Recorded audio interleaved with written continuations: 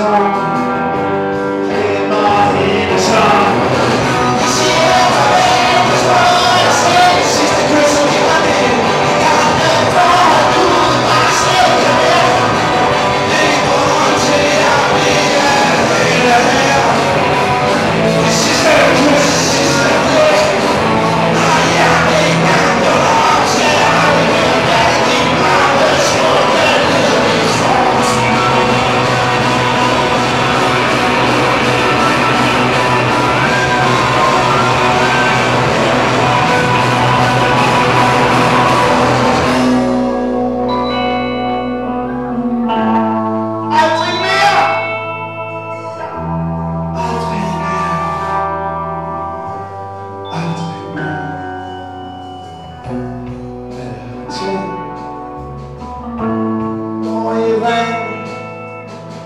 skal jeg som nu have med hjem i seng.